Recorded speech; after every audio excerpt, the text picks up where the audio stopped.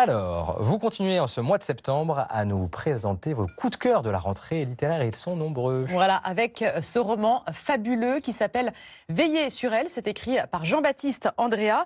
Alors, le livre s'ouvre sur le dernier souffle d'un homme. Nous sommes en 1986 dans un monastère italien. L'homme, c'est Michelangelo Vitalini, un sculpteur reclus dans ce monastère depuis une quarantaine d'années pour veiller sur elle. Elle, c'est sa dernière œuvre, une statue, une pietà cachée ici par le Vatican. Alors pourquoi euh, cette statue est-elle cachée ici? Eh bien, ce roman nous emmène sur les pas de ce sculpteur, donc Michelangelo, dit Mimo, euh, né pauvre dans une famille très pauvre. Il est envoyé à 13 ans euh, chez un apprenti violent à Pietra d'Alba, le fief de la puissante famille Orsini. Là-bas, il rencontre Viola, qui est la fille de cette famille. Viola, c'est la liberté incarnée. Et entre les deux protagonistes va démarrer une très belle et secrète histoire d'amitié. Euh, les deux amis grandissent. Mimo devient un sculpteur très plébiscité, reconnu. Et Viola, quant à elle, elle tente de se débattre dans ce milieu où n'arrive pas à trouver sa place. Épris de liberté, épris d'indépendance, les deux amis ne vont pas cesser de se séparer et de se retrouver. Veiller sur elle de Jean-Baptiste Andrea, c'est un roman plein de grâce, plein de rebondissements, euh, sur fond de guerre mondiale au pluriel, de montée du fascisme et de lutte de pouvoir au Vatican. C'est un très très beau roman. Et c'est de Jean-Baptiste Andrea, donc aux éditions de l'Iconoclaste. Ben voilà tout un programme hein, quand même.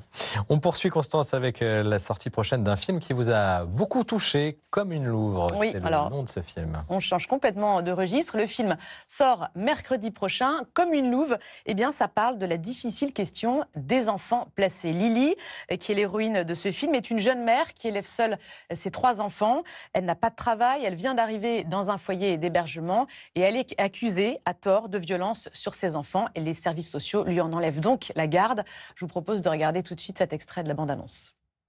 Sans fiche de paye, c'est impossible de faire avancer votre dossier. Je suis votre nouvelle assistante sociale. Putain.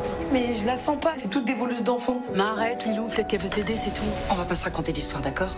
Pourquoi Samy avait un peu sur le visage? Mais foutez-moi la paix. Quoi? C'est pas moi qui l'a tapé, mon fils. Mais c'est battu à l'école. D'abord, vous me fuyez depuis 15 jours. Pourquoi? Non mais moi j'aime pas vos questions, c'est personnel. Vous faites n'importe quoi. Vous êtes complètement infantile. Ce film, c'est le récit euh, d'une chute, hein, vous voyez, d'un effondrement, parce que sans ses enfants, eh bien, Lily n'est plus rien. Et ce film, c'est aussi vraiment une réflexion sur le placement des enfants en famille d'accueil, parce que comme le dit l'avocate de Lily dans le film, le seul crime qu'elle a commis, c'est celui d'être pauvre et seule. Pourtant, l'assistante sociale, incarnée ici par Sandrine Bonner, pense faire le bien en prenant cette décision. Lily va rebondir petit à petit, elle va se battre et une solidarité s'installe autour d'elle. C'est aussi tout ça donc que raconte ce film, comme une louve qui sort mercredi prochain. Direction le Pays Basque, Constance, maintenant, où nous allons célébrer d'ici quelques minutes la messe en direct dans une chapelle qui a remporté en 2021 le prix pèlerin des médias en partenariat avec le Jour du Seigneur pour sa fameuse mosaïque. Oui, exactement. C'est une véritable pépite de notre patrimoine religieux. La chapelle du Sacré-Cœur est située dans le village d'Asparin, au sud-est de Bayonne. Elle a d'abord été édifiée en 1841 dans la maison des missionnaires avant d'être reconstruite et agrandie au début des années 30. C'est un édifice de style néo-renaissance avec, vous le voyez, un décor particulièrement riche. Regardez d'abord cette gigantesque fresque recouvrant une grande partie des murs de la chapelle, exécutée par Antoine Sauvage, un élève du peintre Léon Bonnat en 1933. Une cinquantaine de saints et saintes, des évêques, docteurs de l'Église, etc., ont été peints sur les murs de la nef. Ils accompagnent les fidèles vers le cœur de la chapelle, où là, vous voyez ce magnifique Christ, les bras ouverts aux côtés euh, notamment de la Vierge Marie. Alors c'est une mosaïque sublime, très lumineuse, réalisée par l'atelier des frères Moméjean dans les années 30. C'est typiquement art déco et vous en apprendrez un petit peu plus dans le reportage Pierre Vivante juste avant la messe. Merci Constance. Un mot Catherine peut-être sur cette belle restauration?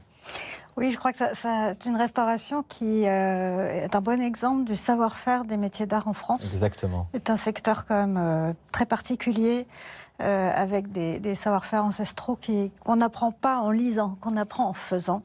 Et euh, je dis ça parce que nos, formations euh, artisanales et manuelles sont souvent mal vues, décriées. Or, ce sont des joyaux. Eh ben, c'est la preuve en tout cas. Oui. Merci Catherine. Il est l'heure donc de célébrer la messe dans cette belle église du Pays Basque avec les paroissiennes et paroissiens qui nous attendent et qui vont nous faire découvrir encore cette église. Très belle célébration à chacune et à chacun.